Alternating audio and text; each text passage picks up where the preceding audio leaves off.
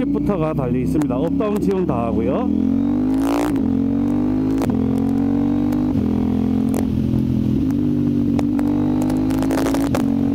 어, 빠당빠당합니다.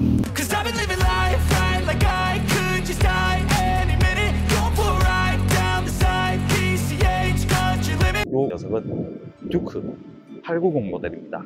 병렬 2기통의 890cc급 890급 모델이죠. 최고 출력은 어떻게 보면 배기량에 비해서 높지는 않아요. KTM의 특징이랄까요. 최고 출력 피크 파워 수치상 단순한 수치에 불과한 최고 출력을 바라시는 분들한테는 죄송한 말이지만 어느 정도 급 위에서는 수치는 그렇게 중요하지 않다고 생각을 합니다.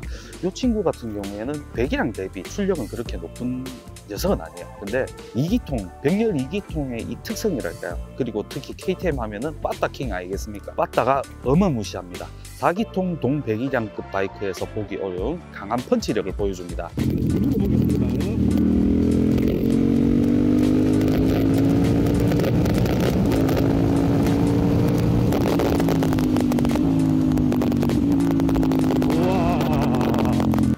4기통 바이크들은 중저속 영역에서 토크가 아, 부족하기 때문에 골골골거립니다. RPM을 많이 써야지 나가는데 이 친구는 4단 기어에서 2000rpm대 소프트를 감으면 미친 듯이 나가는 거의 미친 황소와 같은 그런 녀석이라고 보여집니다. 다만 이 녀석은 생각보다는 크기에 비해서는 어, 공차 중형이 좀 가벼운 컴팩트한 녀석이라고 생각이 돼요. 대략 190kg가 되지 않는 공차 중형을 가지면서 115마력을 가지고 있는 이 녀석은 같은 배기량 대 4기통 그러니까 동급이죠. 같은 배기량이라고 보기는 어렵지만 비슷한 배기량대의 4기통 바이크보다는 아주 강력한 토크를 중조속 영역에서 뿜어냅니다. 그래서 제대로 맛을 보지는 못했어요. 사실 도로 사정상. 그런데 짧게 한번 타봤을 때는 야 빠따킹 최고 출력보다 최고 RPM보다는 또 다른 감성이 있다는 것을 느꼈습니다. 처음에 요 작고 가벼운 녀석을 타서 주행을 했을 때 너무 좀 민첩한 녀석을 타다가 이 녀석을 타니까 약간 좀 다소 둔한 느낌이 들었어요. 조금 시간이 지나니까 익숙 해지고 나서는 아 이 녀석도 상당히 괜찮고 매력적인 녀석이구나 라고 느꼈습니다. 코너링 부분에 대해서 짚고 넘어가자면 직진 안정성 직진할 때 조금 더 불안정하다던가 이런 바이크들은 코너 들어가면 아주 기가 막힙니다. 콤파스 꽂고 돌리는 것처럼요. 이 녀석도 보시면은 지금 가격대가 상당히 있어요. 네. 어, 가격이 망설이시는 분들이 계실 거예요. 이 녀석이. 동급 B의 4기통이죠. 특히 뭐이 녀석하고 비교할 녀석은 아니지만 뭐 CBR 650R, 뭐 CB 650, 뭐 이런 모델들 있죠. 그런 동급 모델에 비해서는 상당히 고급 파츠들이 어, 적용되어 있습니다. 기본적으로 고급 파츠들이 적용되어 있고 그리고 코너링 ABS, TCS 모든 것들이 적용되어 있어서 세세하게 뜯어보면은 그돈 주고 이기통을 왜 사느냐 하는 말이 쏙 들어갑니다. 다만 우리나라는 앞서 말씀드렸다시피 어, 단기통 바이크에 대해서 굉장히 짭니다. 그리고 기왕이면은 다다익선이라고 하죠. 기통수가 많으면 많을수록 좋다 해서 4기통 바이크를 선호하는 좀 바이크의 선택에 대해서는 일률적인 획일적인 그런 문화를 가지고 있다고 봐야 될까 그런 부분이 있습니다. 바이크의 다양성이라든가 이런 부분을 생각했을 때는 4기통 선택하기보다는 이런 2기통 바이크도 상당히 괜찮지 않겠나 생각이 듭니다. 물론 어쩔 수 없어요. 4기통 바이크에서 오는 그런 배기음과 그리고 회전 질감 이거는 다기통 바이크 특성상 어쩔 수 없는 부분이라 4기통보다는 좀 아쉬운 부분이 있을 수밖에 없어요. 바이크를 어느 정도 운영을 해보시 고 타보셨던 분들 4기통 바이크를 충분히 경험 해보셨던 분들은 4기통 말고 어, 2기통이나 단기통 바이크들을 선택하시는 이유들이 있습니다. 4기통에서 오는 맹숭맹숭함 이런 것들보다는 좀 더 강한 좀 자극적인 맛을 원하시는 분들은 이런 KTM 같은 어, 2기통 또는 단기통 바이크를 선택을 하시죠. 두 차량의 차주는 아, 이전에 아, 가와사키의 Z900을 타셨던 분이었습니다. 4기통 바이크를 타시다가 KTM 바이러스에 감염이 되신다. 아, 그래서 KTM을 두 대나 영입을 하셨습니다. 감사하게도 어, 그분께서 시간과 차량을 흔쾌히 내어주셔서 소중한 기회를 여러분께 소개해드리면서 찍을 수 있게 됐습니다. 다기통 차량, 저는 뭐 아직까지는 많은 차량을 접해보지는 못했어요. 근데 이 차량을 운행해보면서 느꼈지만 기통수가 다가 아니다. 그리고 어, 최고 출력이 다가 아니다라는 걸 새삼 느끼게 됩니다. 최고 출력은 수치상에 불과할 수도 있고 아닐 수도 있습니다. 무슨 말이냐? 최고 출력이 높으면 높을수록 최고 속도가 올라갑니다. 그리고 최고 출력이 높으면은 엔진 회전수도 비교적 많이 높게 돌리는 차량들이고 그리고 최고 출력이 높으면은 토크도 어느 정도 올라가지만 공대를 졸업한 사람으로서 말씀드리자면은 엔진 회전수 대비해서 토크는 반비례하는 그런 관계를 가지고 있습니다. 최고 출력은 엔진 회전수와 토크와 비례를 하지만 최고 토크는 엔진 회전수와 반비례를 한다 보시면 되겠습니다. 엔진 회전수를 만 RPM 이상 가져가면서 토크도 불바다인 차량들은 잘 없는 이유가 그 때문이죠. 어, 이 차량 상당히 매력적입니다. 어, 좀 quarter급을 탔을 때 이거는 middle 준 리터라고 봐야 되지 않을까 싶지만 이런 큰 배기량에 비해서 차량은 굉장히 가볍고 경쾌했습니다. 특히나 딸려간다는 표현을 해야 맞을까요? 바이크에 딸려간다는 말이 맞았습니다.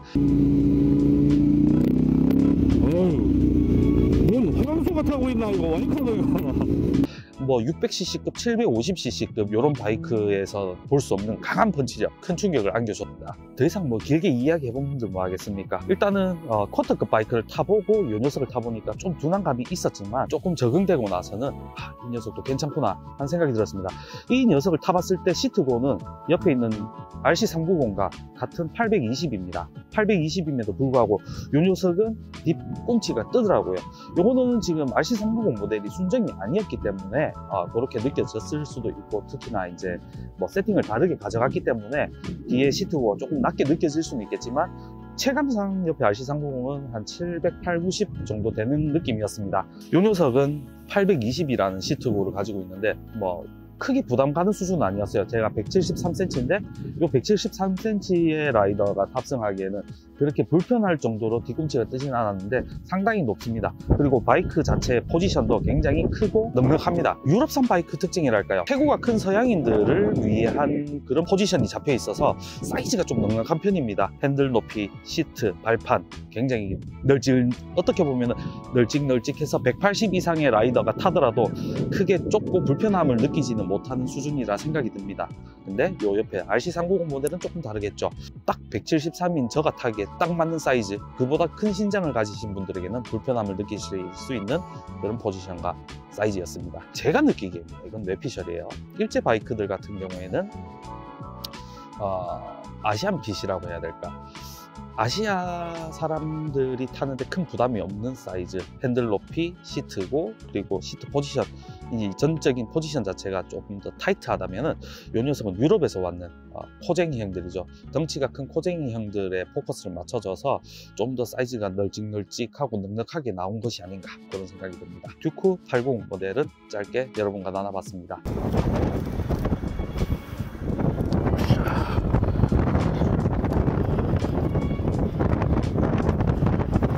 시트고 어, 뒤에 RC390하고 스펙상으로는 똑같은 820mm라고 나와 있는데 얘는 조금 높네요. 시트 폭이 조금 더 넓은 느낌입니다. 그래서 발이 뒤꿈치가 살짝 뜹니다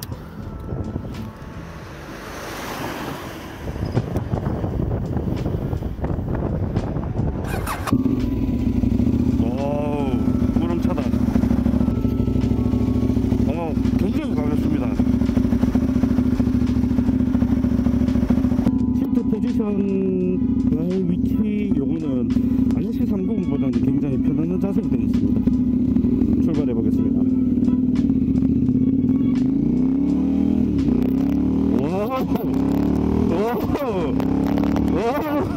예, 잘 나갑니다. 벌써 잘 나가요. 65마력이라고 하는데, 아, 출력 좋습니다. 아 근데 느낌은 저 RC390은 꼽은 데는 쑥쑥 들어간다면 얘는 조금 힘을 주면서 눕혀야 되네요. 그냥 이렇게 휘딱휘딱 넘어가는 바이크는 아닙니다. 아 확실히 큰 차들은 벌떡벌떡 서 있는 느낌이 납니다. 어, 움직임 자체가 약간 당연히 쿼터하고 비교하면 안 되지만 움직임 자체는 쿼터보다는 좀 아쉽네요. 하지만 저속에서 이야기고 고속은 또 달라질 겁니다.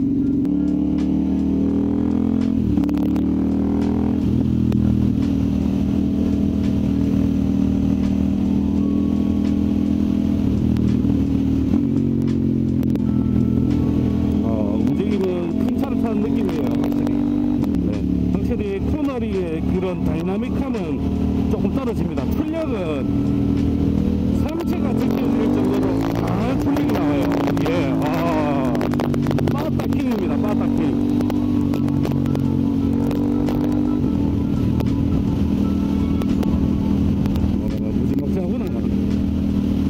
제가 지금 MT07을 daily로 타고 있습니다. 이 녀석하고 비슷한 형식이라고 해야 될까 비교하기는 어려워요. 가격 자체가 이미 거의 한 배가 나오기 때문에 아 굉장합니다. 힘이 넘쳐 모든 기어에서. 유턴 부다다다닥 핸들 높이라던가 이게 굉장히 편안한 자세를 가지고 있지만 편안한 포지션일 뿐 차량 편안한 차량은 아닌 것 같습니다. 물론 출력이 차고 넘치고 강력한 느낌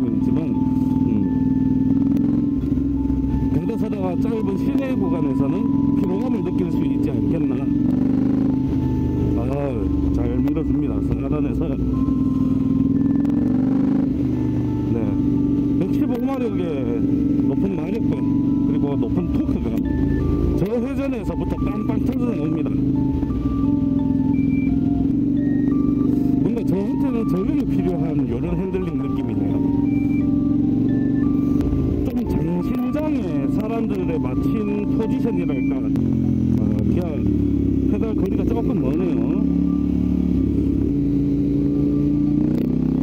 어휴 뭔 호랑소 같아 하고 있나 이거 완전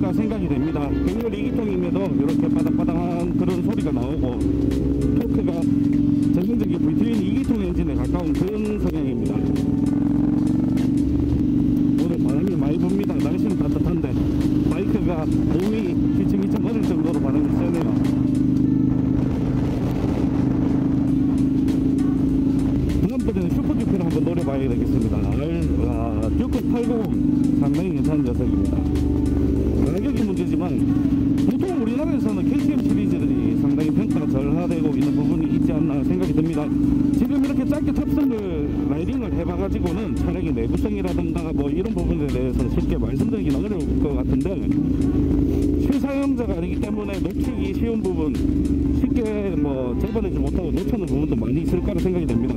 다만 이렇게 짧게 잡았을 때 이 녀석은 어,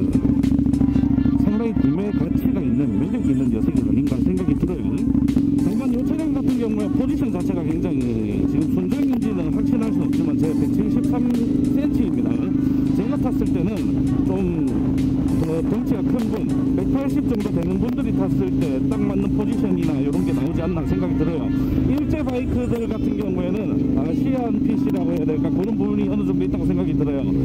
브레이크 자체가 굉장히 아기자기하고 작고 이런 부분이 있는데 유럽산 바이크들은 좀 더 덩치가 큰 서양인들 체구에 맞춰서 나오는 탓인지 몰라도 사이즈가 좀 넉넉합니다.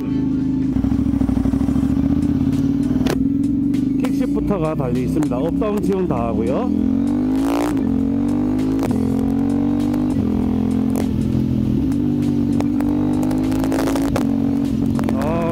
가능합니다.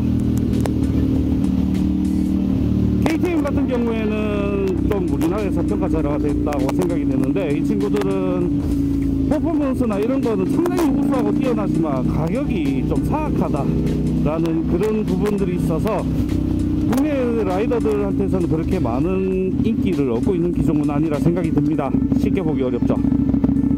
근데 특유의 빠따죠. KTM. 빠따가 강력한 KTM 같은 경우에는 이야기가 좀 달라지지 않겠나 생각이 듭니다. 아, 괜찮네. 저 MT 못 탈 것 같습니다. 사실 요 정도 출력대 같은 바이크는 아, 어느 정도 어, 뭐랄까요 그 riding skill이 어느 정도 축적되신 분들이 아니고서는 아무리 전자 장비가 있다고 한들 좀 부담스러운 바이크가 아닌가 생각이 듭니다. 무지막지 한 녀석이네요. 이기통 바이크들을 접하고 나서 바이크들의 출력이 다가 아니라는 걸 요즘에 새삼 느끼고 있는 중입니다. 출력 자체는 어떻게 보면 동백이량대 바이크에 비해서는 낮은 편이지만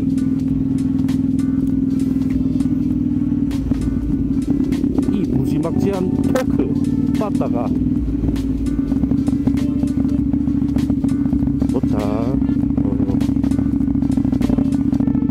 어, 여러분과 함께 요 김태민 씨, 두 김태민 씨와 함께 이야기를 나눠봤습니다. 어, 이 자리를 빌어서 어, 소중한 차량과 시간을 내어주신 구독자님께 감사 말씀드리겠습니다. 그럼 또 다른 새로운 영상으로 찾아뵙도록 하겠습니다. 모두들 빠바!